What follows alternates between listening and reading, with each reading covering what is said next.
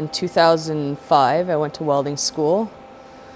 I worked from 2006 to 2015 at Brandt Industries and then was let go there.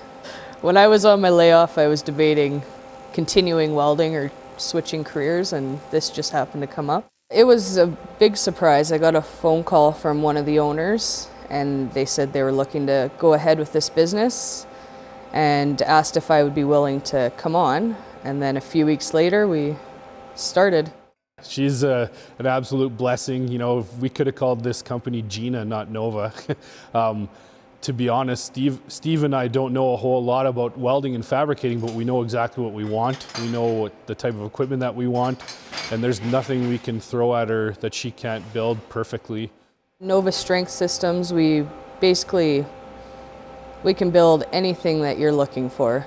Well, we've only been in business for a year, but these last three to four months in particular have just exploded.